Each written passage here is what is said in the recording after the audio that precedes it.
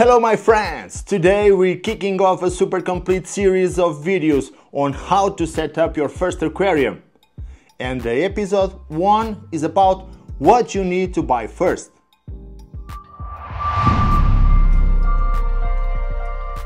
Welcome to PSK Aqua.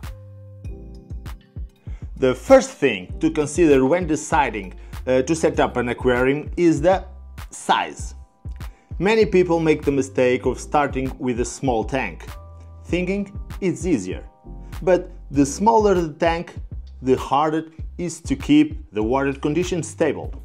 Small, big, what's the difference? Fish fit just the same. I had a 10 liter one, and everything was fine. Yes, Rick, but small tanks have less water volume, meaning any change in parameters, whether it's pH, temperature, or ammonia, will be much more drastic. For example, if the room temperature rises, in a small tank the water heats up much faster. And when a fish poops or pees, ammonia levels can quickly spike and poison all the inhabitants. So the bigger the aquarium, the better. If the tank has more water, problems get diluted more easily than in a small one. Ah, so you're saying it's like an airbag for fish? More water, more safety? Good analogy, Rick. I recommend a 60 to 100 liter tank for beginners. This way, you have more room for the fish and for the filtration cycle to work efficiently. Plus, you can introduce more species and create a more balanced environment. And I already ordered a 20 liter tank. I made a big mistake. It's not a mistake, Rick, but you'll have more work. Size really matters when it comes to maintaining stable water. Oh, and don't forget, never place the tank in direct sunlight. We'll talk more about that later. We have the aquarium, and the second things to buy is the filter, the heart of the aquarium. This is something many people underestimate.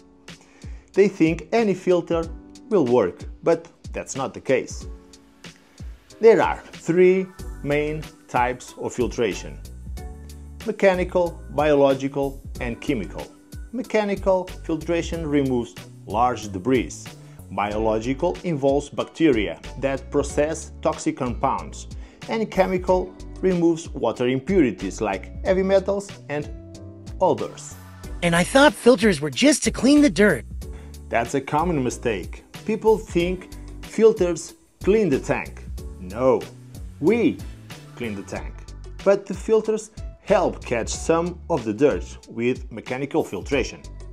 The filter is the heart of the aquarium, and with a bad heart, you'll have health problems. Same with the aquarium. A good filter should circulate at least 5 times the tank's volumes per hour. So, for a 100 liter tank, you need at least 500 uh, liter per hour pump. But I'll never go with less than 1000 liter per hour. A common mistake is choosing small internal filters that take up space inside the tank and can't support a healthy colony of bacteria. For tanks 60 liters or larger, an external filter like hang-on back or canister filter is ideal. Can I turn off the filter at night to save energy? No, Rick, you should never do that. The filter has to be 24 7, except for maintenance, of course. If you turn it off at night, the bacteria will die. And the nitrogen cycle, which I will talk about later, will stop. Turning off the filter is like always starting the tank on day one. Ah, makes sense. But explain how those canister and hang on back filters work. I get that you don't like internal filters. Canister filter sits outside the tank and has multiple chambers where we can place different uh, filter media. You've got sponges for mechanical filtration and ceramic rings or bioballs for biological filtration. This type of filter doesn't take up space inside the tank and can move large volumes of water, which is great for keeping the ecosystem stable.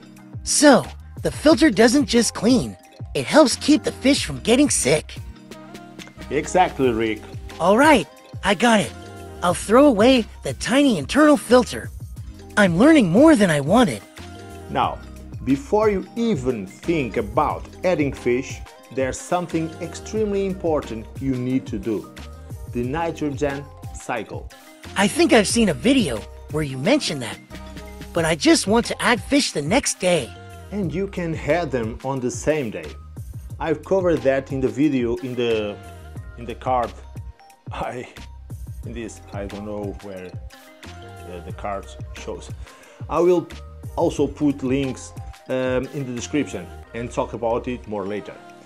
The nitrogen cycle is what keeps your fish alive long term. When you start an aquarium, there aren't enough beneficial bacteria to process the ammonia produced by the fish. This bacteria needs time to multiply and form healthy colonies in the filter and substrate. So, what kind of bacteria are we talking about? The ones I don't want in the tank, right? No, Rick, did you forgot? We already talked about this. These are the good bacteria. They convert ammonia into nitrites and then nitrites into nitrates, which are much less toxic. If you don't let the nitrogen cycle happen, ammonia and nitrate levels can spike and poison the fish. Sorry, my memory is very poor. That's a lot of information to take in. So how can I start colonizing these good bacteria in my filter? To start the nitrogen cycle, you can use an ammonia source, decaying fish food or even a commercial product with pure ammonia. You'll need a water test kit to monitor ammonia nitrite and nitrate levels. The full cycle without biological boosters take about 4 to 6 weeks. Biological accelerators? What is that? And I can't add fish the same day. I have to wait up to 6 weeks before I can add fish. How boring. Ideally no, Rick. You should wait until ammonia and nitrate levels are zero. Only then it is safe to add fish. But if you want to speed up the process, there are products uh, with nitrifying bacteria ready to introduce to the tank. But you can also speed things up by adding cycle media, dirty water from a mature uh, filter or bottled bacteria. I will leave a card for a video, I don't know where, the cards uh, appear. I will leave a card for a video where I'll talk uh, about adding fish on the same day. All right, this all makes sense. We've talked about the tank and the filter. What else do we need to get started in the aquarium hobby? Depending on the type of fish you want, you may also need a heater, preferably with a thermostat. Depending on the type of fish, I don't get it. Yes, if you plan on having tropical fish that needs water temperatures around 27 degrees Celsius, you need to heat the water and keep it always at the same temperature. How am I supposed to heat the water? With a heater? Won't that cook my precious fish? No, if it has a thermostat. The thermostat will turn off if the water reaches or exceeds the set temperature and turn back on if it drops below that temperature, keeping the water just right. Now that we've bought the aquarium, the filter and the thermostat, let's figure it out where to place it. What do you mean? I'll just put it on any piece of furniture at home. Or are there rules for placing the aquarium too? Choosing the location for your aquarium is super important, Rick. You should never place it near windows or in spots where direct sunlight hits.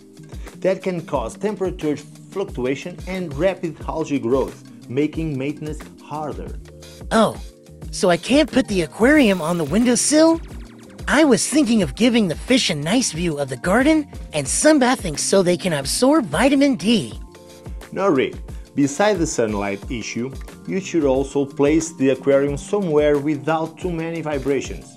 For example, don't place it near large speakers or on surface that shake often like office desks with computers on them. So, no putting the aquarium on top of the washing machine either. I get it. I was imagining the fish dancing. The fish dancing Rick, come on. Choose a stable spot with no drafts or vibrations, and of course, somewhere you can enjoy watching the fish without stressing them out. Alright, I think I got it. And I hope you, who want to start this fantastic aquarium hobby, understand too. So, the ideal would be to buy a tank of at least 60 liters, a filter that circulates 10 times the tank's volume per hour, a heater with thermostat, and place it away from direct sunlight and vibrations, right? Exactly, Rick. That would be the ideal setup to start. And the light? You didn't talk about the light. The light without plants. No, Rick. The light is just for us to see the fish.